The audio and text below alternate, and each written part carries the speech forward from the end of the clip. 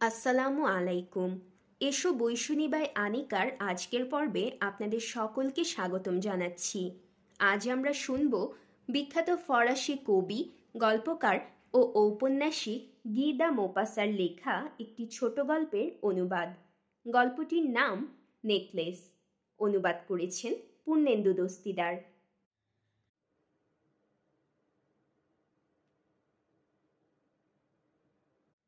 সে ছিল চমৎকার এক সুন্দরী তরুণী।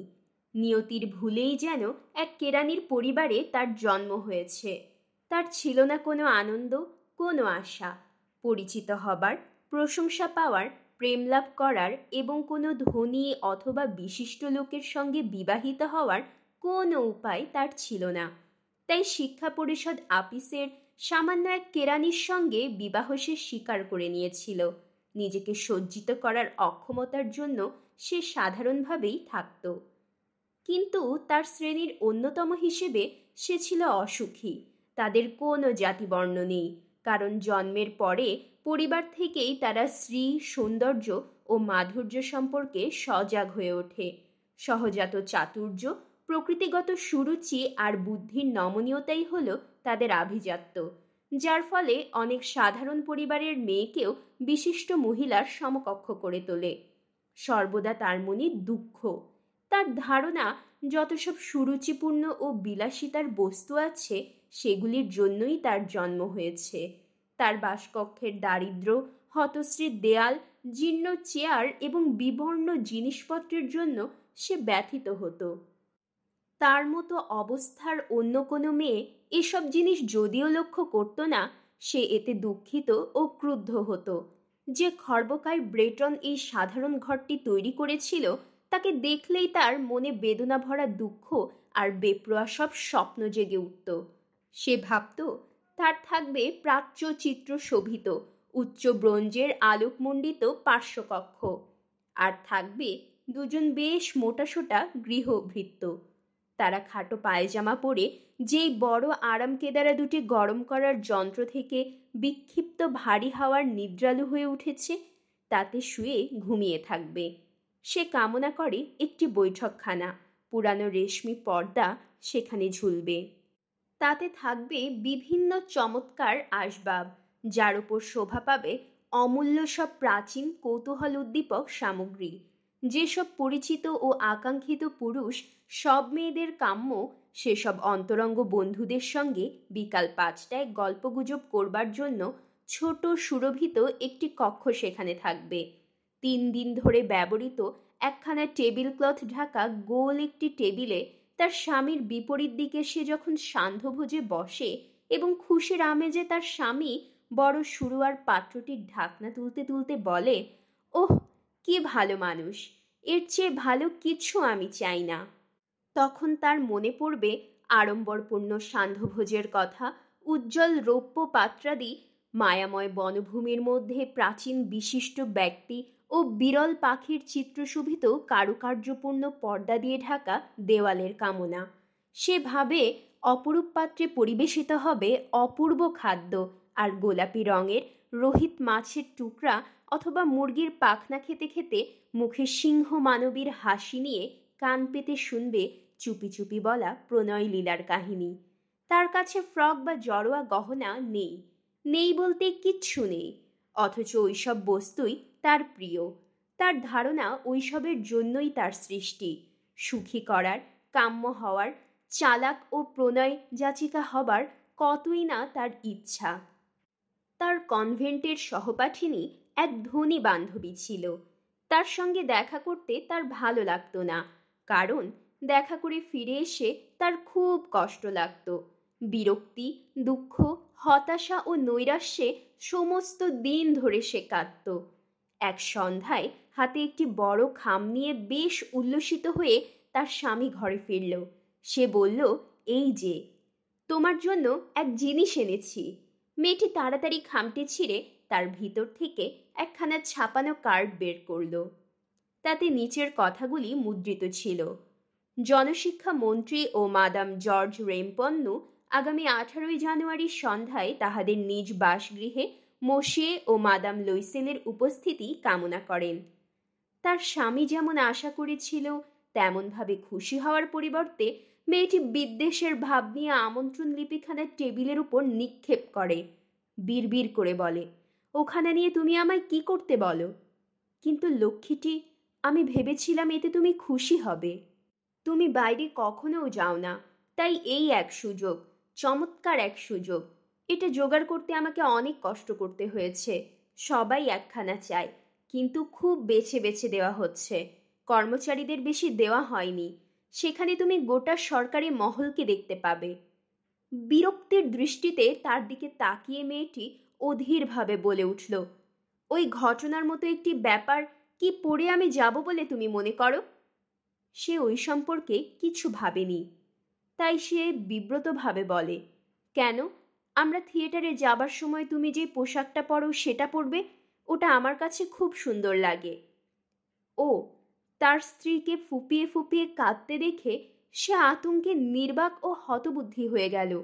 তার চোখের পাশ থেকে পাঁচটা বড় বড় ফোঁটা, দু ফোঁটা অশ্রু তার গালের উপর গড়িয়ে পড়ল। সে থতমতভাবে বলল, কি হলো? কি হলো তোমার? প্রবল চেষ্টায় মেয়েটি নিজের বিরক্তি দমন করে। তার সিক্ত গণ্ড মুছে ফেলে শান্ত কণ্ঠে জবাব দেয়, কিছুই না। শুধু আমার কোনো পোশাক নেই বলে আমি ওই ব্যাপারে যেতে পারব না। তোমার যে কোনো সহকর্মীর স্ত্রীর পোশাক আমার চেয়ে যদি ভালো থাকে, কার্ডখানা নিয়ে তাকে দাও। সে মনে মনে দুঃখ পায়, তারপর সে জবাব দেয়, মাতিলদা, বেশ তো, চলো আলাপ করি আমরা।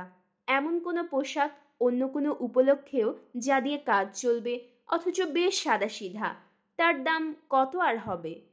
কয়েক সেকেন্ড মেয়েটি চিন্তা করে দেখে এমন একটি সংখ্যার বিষয় স্থির করল যা চেয়ে বসলে হিসাবি কেরানির কাছ থেকে সঙ্গে সঙ্গে এক আতঙ্কিত প্রত্যাখ্যান যেন না আসে।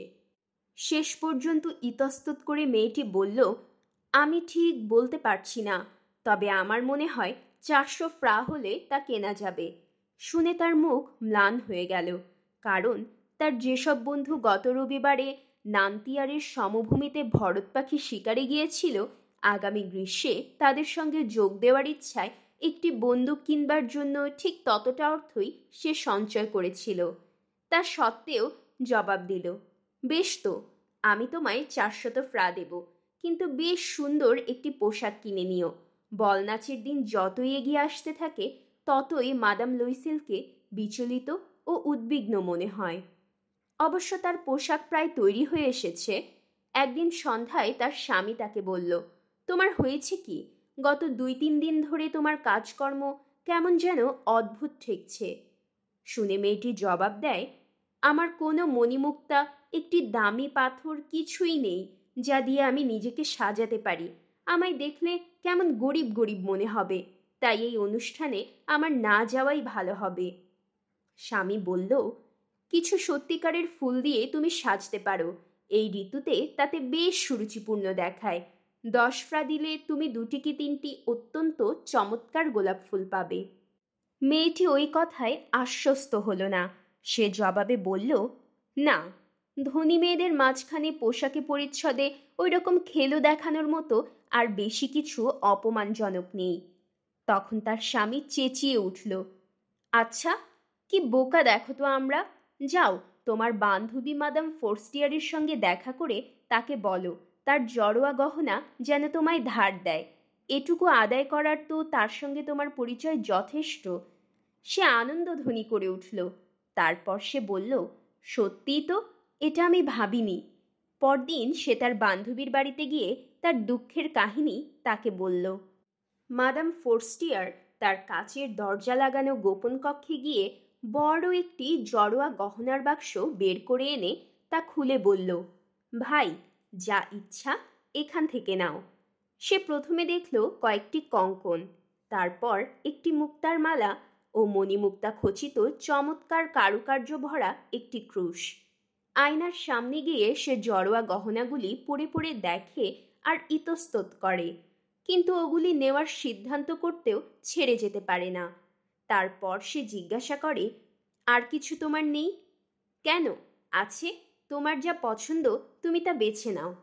হঠাৎ সে কালো স্যাটিনের একটি বাক্সে দেখল, অপরূপ একখানা হীরার হার। অদম্য কামনায় তার বুক দূর দূর করে। সেটা তুলে নিতে গিয়ে তার হাত কাঁপে। সে তার পোশাকের উপর দিয়ে সেটি গলায় তুলে নেয় এবং সেগুলো দেখে আনন্দে বিহবল হয়ে যায়। তার উদ্বেগ ভরা ইতস্ততার সাথে সে জিজ্ঞাসা করল, তুমি ওইখানে আমায় ধার দেবে? শুধু এটা? কেন দেব না? নিশ্চয়ই দেব।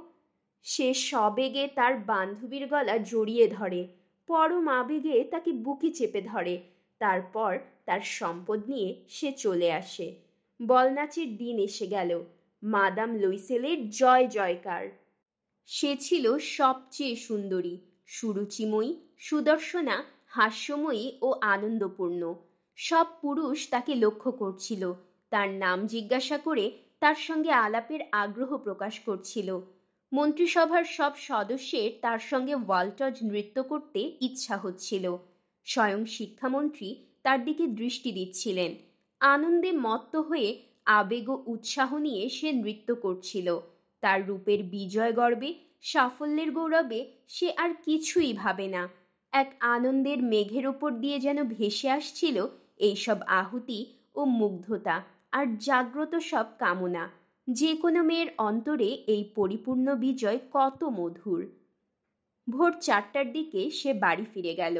অন্য সেই তিনজন ভদ্রলোকের স্ত্রী খুব বেশি ফুর্তিতে মত্ত ছিল। তাদের সঙ্গে তার স্বামী ছোট একটি বিশ্রাম কক্ষে মধ্যরাত্রি পর্যন্ত আধঘুমে বসেছিল। বাড়ি ফিরবার পথে গায়ে জড়াবার জন্য তারা যে আটপৌরের সাধারণ চাদর নিয়ে এসেছিল, সে তার কাঁধের ওপর সেটি ছড়িয়ে দেয়। বলনাচের পোশাকের অপরূপ সৌন্দর্যের সঙ্গে ওইটির দারিদ্র সুপরিস্ফুট হয়ে উঠছিল। মেয়েটি তা অনুভব করতে পারে। তাই অন্য যেসব ধনী মেয়ে দামি পশমি চাদর দিয়ে গা ঢেকেছিল, তাদের চোখে না পড়বার জন্য সে তাড়াতাড়ি এগিয়ে যেতে লাগল। লুইসেল তাকে টেনে ধরে বলল থামো, তোমার ঠান্ডা লেগে যাবে ওখানে। আমি একখানা গাড়ি ডেকে আনি। কিন্তু মেয়েটি কোনো কথায় কান্না দিয়ে তাড়াতাড়ি সিঁড়ি বেয়ে নামতে থাকে। রাস্তায় যখন তারা পৌঁছে গেল, সেখানে কোনো গাড়ি পাওয়া গেল না। তারা গাড়ির খোঁজ করতে করতে দূরে কোনো একখানাকে দেখে তার গাড়োয়ানকে ডাকতে থাকে। হতাশ হয়ে কাঁপতে কাঁপতে তারা সিন নদীর দিকে হাঁটতে থাকে। শেষ পর্যন্ত যে পুরাতন একখানা তারা পায় হলো সেই নিশাচর দুই যাত্রীর গাড়ি, যা প্যারিতে সন্ধ্যার পর লোকের চোখে পড়ে, তার একখানা। এইগুলি নিজের দুর্দশা দেখাতেও ওই দিন লজ্জা পায়। ওইখানেই তাদের মার্টার স্ট্রিটে ঘরের দরজা পর্যন্ত নিয়ে গেল। তারা ক্লান্তভাবে তাদের কক্ষে গেল। মেয়েটির সব কাজ শেষ। কিন্তু স্বামীর ব্যাপারে তার মনে পড়ল যে দশটায় তাকে আপিসে গিয়ে পৌঁছাতে হবে। নিজেকে গৌরবমণ্ডিত রূপে শেষ একবার দেখার জন্য সে আয়নার সামনে গিয়ে তার গলার চাদরখানা খোলে। হঠাৎ সে আর্তনাদ করে উঠল। তার হাড়খানা গলায় জড়ানো নেই। তার স্বামীর পোশাক তখন অর্ধেক মাত্র খোলা হয়েছে। সে জিজ্ঞাসা করল, কি হয়েছে? উত্তেজিতভাবে মেয়েটি তার দিকে ফিরে বলল, আমার আমার কাছে মাদাম ফোর্স্টিয়ারের হাড়খানা নেই। আতঙ্কিতভাবে সে উঠে দাঁড়াল। কি বলল? কিন্তু তা কি করে হবে? এটা সম্ভব নয়। পোশাকের ও বহির্বাসের ভাজের মধ্যে পকেটে সব জায়গায় তারা খোঁজ করে, কিন্তু পাওয়া গেল না। স্বামী জিজ্ঞাসা করল, ওই বাড়ি থেকে চলে আসবার সময় তা যে তোমার গলায় ছিল, তোমার ঠিক মনে আছে? হ্যাঁ আমরা যখন বিশ্রাম কক্ষ দিয়ে বেরিয়ে আসছিলাম, তখনও তা ছিল আমার, খেয়াল আছে। কিন্তু তুমি যদি ওটা রাস্তায় হারাতে ওটা পড়বার শব্দ আমাদের শোনা উচিত ছিল। গাড়ির মধ্যেই নিশ্চয়ই পড়েছে মনে হয়। হ্যাঁ সম্ভবত তাই। তুমি গাড়ির নম্বরটি টুকে নিয়েছিলে? না। আর তুমি কি তা লক্ষ্য করেছিলে? না। হতাশভাবে তারা একে অপরের দিকে তাকিয়ে থাকে। শেষ পর্যন্ত লুইসেল আবার পোশাক পরে নিল। সে বলল, আমি যাচ্ছি। দেখি, যতটা রাস্তা আমরা হেঁটেছিলাম, সেখানে খুঁজে পাওয়া যায় কি না তারপর সে গেল। মেয়েটি তার সান্ধ্য গাউন পরেই রয়ে গেল। বিছানায় শুতে যাবার শক্তি তার নেই। কোনো উচ্চাসা বা ভাবনা ছাড়াই সে একখানা চেয়ারে গা এলিয়ে পড়ে রইল। সকাল সাতটার দিকে তার স্বামী ফিরে এলো। কিছুই সে খুঁজে পায়নি। সে পুলিশের কাছে ও গাড়ির আপিসে গিয়েছিল এবং পুরস্কার ঘোষণা করে একটা বিজ্ঞাপন দিয়ে এসেছে। সে যথাসাধ্য করে এসেছে বলে তাদের মনে কিছুটা আশা হলো। ওই ভয়ানক বিপর্যয়ে মেয়েটি সারা দিন এক বিভ্রান্ত অবস্থায় কাটালো। সন্ধ্যাবেলা যখন লইসেল ফিরে এলো, তখন তার মুখে যন্ত্রণার মলিন ছাপ। কিছুই সে খুঁজে পায়নি। সে বলল, তোমার বান্ধবীকে লিখে দিতে হবে যে হারখানার আংটা তুমি ভেঙে ফেলেছ। তাই তা তুমি মেরামত করতে দিয়েছ। তাতে আমরা ভেবে দেখবার সময় পাব। তার নির্দেশ মতো মেয়েটি লিখে দিল। এক সপ্তাহ শেষ হওয়ায় তারা সব আশা ত্যাগ করল। বয়সে পাঁচ বছরের বড় লইসেল ঘোষণা করল, ওই জড়োয়া গহনা ফেরত দেবার ব্যবস্থা আমাদের করতে হবে। পরদিন যেই বাক্সে ওটা ছিল, তার ভিতরে যে স্বর্ণকারের নাম ছিল, তার কাছে তারা সেটা নিয়ে গেল। সে তার খাতাপত্র ঘেটে বলল, মাদাম, ওই হারখানা আমি বিক্রি করিনি, আমি শুধু বাক্সটা দিয়েছিলাম। তারপর তারা সেই হারটির মতো হার খোঁজ করার জন্য তাদের স্মৃতির উপর নির্ভর করে এক স্বর্ণকার থেকে অন্য স্বর্ণকারের কাছে যেতে থাকে। দুজনেরই শরীর বিরক্তি ও উদ্বেগে খারাপ হয়ে গেছে। প্যালেস রয়্যালে তারা এমন এক হীরার কণ্ঠহার দেখল, সেটা ঠিক তাদের হারানো হারের মতো। তার দাম চল্লিশ হাজার ফ্রা। ছত্রিশ হাজার ফ্রাতে তারা তা পেতে পারে। তিন দিন যেন ওটা বিক্রি না করে, সেজন্য তারা স্বর্ণকারকে বিশেষভাবে অনুরোধ করল। তারা আরও ব্যবস্থা করল যে যদি ফেব্রুয়ারি মাস শেষ হওয়ার আগে ওই হারটি খুঁজে পাওয়া যায়, তারা এটা ফেরত দিলে চৌত্রিশ হাজার ফ্রা ফেরত নিতে পারবে। লইসেলের কাছে তার বাবার মৃত্যুর পরে প্রাপ্ত আঠারো হাজার ফ্রা ছিল, বাকিটা সে ধার করল। মাদাম লইসেলের যখন জড়োয়া গহনা মাদাম ফোর্স্টিয়ারকে দিতে গেল, তখন শেষোক্তি মেয়েটি নির্জীব কণ্ঠে বলল, ওটা আরও আগে তোমার ফেরত দেওয়া উচিত ছিল। কারণ তা আমারও দরকার হতে পারত। তার বান্ধবী যেই ভয় করেছিল, তেমনভাবে সে গহনার বাক্সটি খুলল না। যদি বদলে দেওয়া হয়েছে সে টের পেত, সে কি মনে করত, সে কি বলতো, সে কি তাকে অপহরক ভাবত? এবার মাদাম লুইসেল দারিদ্র জীবনের ভয়াবহতা বুঝতে পারে। সে তার নিজের কাজ সম্পূর্ণ সাহসের সঙ্গেই করে যায়। ওই দুঃখজনক দেনা শোধ করা প্রয়োজন, সে তা দেবে। দাসীকে তারা বিদায় করে দিল। তারা তাদের বাসা পরিবর্তন করল। নিচু ছাদের কয়েকটি কামরা তারা ভাড়া করল। ঘরকন্যার কঠিন সব কাজ ও রান্নাঘরের বিরক্তিকর কাজকর্ম সে শিখে নিল। তার গোলাপি নখ দিয়ে সে বাসন ধোয়। তৈলাক্ত পাত্র ও ঝোল রাধার কড়াই মাঝে ময়লা কাপড় চোপড়, সেমিজ বাসন মোছার গামছা সে পরিষ্কার করে দড়িতে শুকাতে দেয়। রোজ সকালে সে আবর্জনা নিয়ে রাস্তায় ফেলে। সিঁড়ির প্রত্যেক ধাপে ধাপে শ্বাস নেবার জন্য সে থেমে থেমে জল তোলে। সাধারণ পরিবারের মেয়ের মতো পোশাক পরে সে হাতে ঝুড়ি নিয়ে মুদি কষাই ও ফলের দোকানে যায় এবং তার দুঃখের পয়সার একটির জন্য পর্যন্ত দর কষাকষি করে। প্রত্যেক মাসেই সময় চেয়ে কিছু দলিল বদল করতে হয়, কাউকে কিছু শোধ দিতে হয়। তার স্বামীও সন্ধ্যাবেলা কাজ করে। সে কয়েকজন ব্যবসায়ীর হিসাবের খাতা ঠিক করে। রাত্রে এক পাতা পাতসাও হিসেবে সে প্রায়ই লেখা নকল করে। এরকম জীবন দশ বছর ধরে চলল। দশ বছরের শেষে তারা সব কিছু মহাজনের সুদসহ প্রাপ্য নিয়ে সব ক্ষতিপূরণ করে ফেলতে পারে। তাছাড়া কিছু তাদের সঞ্চয়ও হলো। দেখলে এখন মাদাম লুইসেলকে বয়স্কা বলে মনে হয়। সে এখন গরিব গৃহস্থ ঘরের শক্ত, কর্মঠ ও অমার্জিত মেয়ের মতো হয়ে গেছে। তার চুল অবিন্যস্ত ঘাঘরা একপাশে মোচড়ানো, হাতগুলো লাল। সে চড়া গলায় কথা বলে এবং বড় বড় কলসিতে জল এনে মেঝে ধোয়। কিন্তু কখনো তার স্বামী যখন অফিসে থাকে, জানালার ধারে বসে বিগত দিনের সেই সান্ধ্য অনুষ্ঠান ও সেই বল নাচে তাকে এত সুন্দর দেখাচ্ছিল ও এমন অতিরিক্ত প্রশংসা পেয়েছিল তার কথা সে ভাবে। যদি সে গলার সেই হারখানা না হারাতো, তাহলে কেমন হতো? কে জানে? কে বলতে পারে? কি অনন্য সাধারণ এই জীবন আর তার মধ্যে কত বৈচিত্র্য? সামান্য একটি বস্তুতে কি করে একজন ধ্বংস হয়ে যেতে আবার বাঁচতেও পারে? এক রবিবারে সারা সপ্তাহের নানা দুশ্চিন্তা মন থেকে দূর করার জন্য সে যখন চাম্পস এলিসিসে ঘুরে বেড়াচ্ছিল, হঠাৎ একটি শিশু নিয়ে ভ্রমণরতা এক মেয়ে তার চোখে পড়ল। সে হলো মাদাম ফোর্স্টিয়ার। সে এখনও যুবতী, সুন্দরী ও আকর্ষণীয়া। দেখে মাদাম লুইসেলের মন খারাপ হয়ে গেল। সে কি ওই মেয়েটির সঙ্গে কথা বলবে? হ্যাঁ অবশ্যই বলবে। তাকে যখন সব শোধ করা হয়ে গেছে, তখন সব কিছু খুলে সে বলবে। কেন বলবে না? সে মেয়েটির কাছে এগিয়ে গিয়ে বলল, সুপ্রভাত, জেনি। তার বন্ধু তাকে চিনতে পারল না। এক সাধারণ মানুষ তাকে এমন অন্তরঙ্গভাবে সম্বোধন করায় সে অবাক হলো। সে বিব্রতভাবে বলল, কিন্তু মাদাম, আপনাকে তো চিনলাম না। বোধহয় আপনার ভুল হয়েছে। না, আমি মাতিলদা লইসেল। তার বান্ধবী বিস্ময়ে চেঁচিয়ে উঠে বলল, হায়, আমার বেচারি মাতিলদা, এমনভাবে কি করে তুমি বদলে গেলে? হ্যাঁ তোমার সঙ্গে দেখা হবার পর থেকে আমার দুর্দিন যাচ্ছে। বেশ কিছু দুঃখের দিন গেছে, আর সেটা হয়েছে শুধু তোমার জন্য। আমার জন্য? তা কি করে হলো? সেই যে কমিশনারের বলনাচের দিন তুমি আমাকে তোমার হীরের হার পড়তে দিয়েছিলে, মনে পড়ে?